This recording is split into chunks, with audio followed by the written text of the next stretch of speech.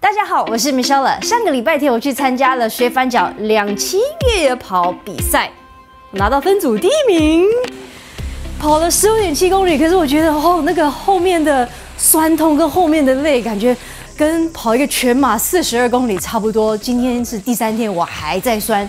而我发现跑平路还有跑山坡，不管是上坡还是下坡，这都是用不一样的肌群。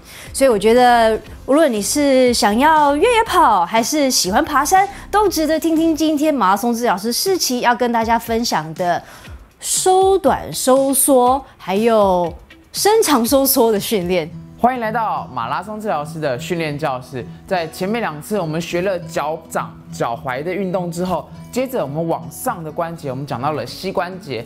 膝关节它虽然只会往前、往后踢，可是膝盖呢，我们有零度、十度、二十度这样不同角度的运动。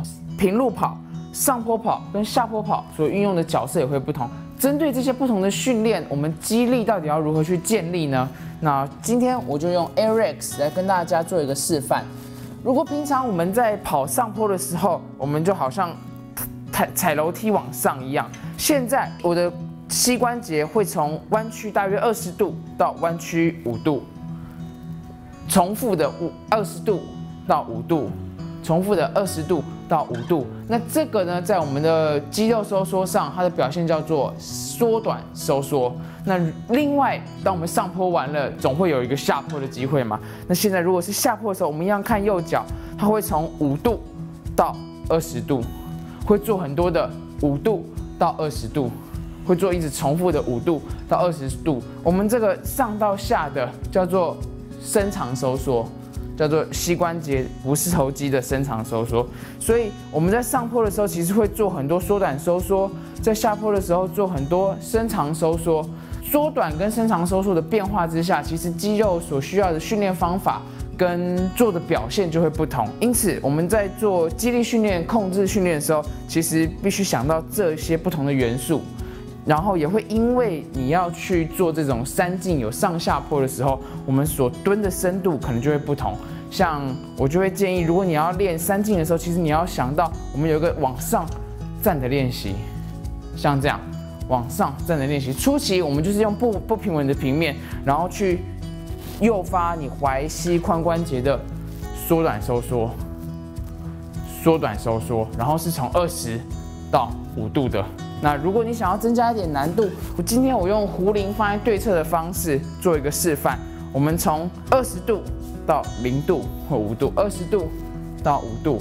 虽然它是膝关节，可是其实我们的踝关节、膝关节、髋关节同时都会被诱发。缩短收缩练习完了，其实我们也要练一样的伸长收缩，往下。我们可以往下，对，我们可以往下。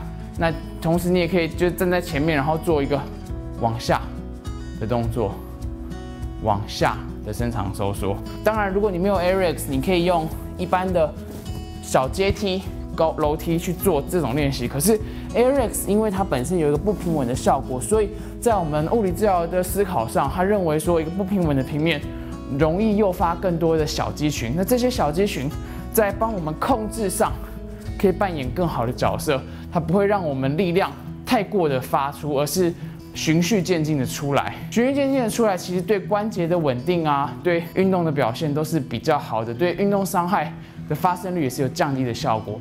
所以因此，我们常常会建议，如果能够备有这样的不平稳平面的时候，其实我们常常除了单脚站之外，我们也可以试这种站在上面做的运动。